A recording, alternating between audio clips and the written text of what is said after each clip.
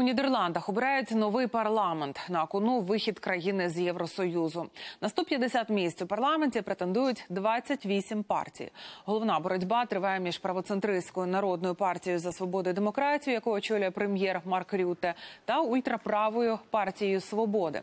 Опозиційний лідер Герт Відлерс хоче некзиту виходу Нідерландів з ЄС.